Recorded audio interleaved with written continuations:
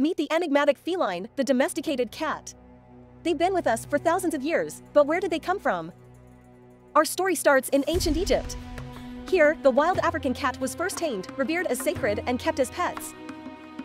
Moving forward to the Middle Ages, cats were associated with witchcraft. However, in the 19th century, attitudes shifted.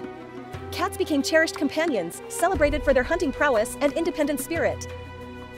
Today, cats are one of the most adored pets worldwide, a testament to their fascinating journey through history.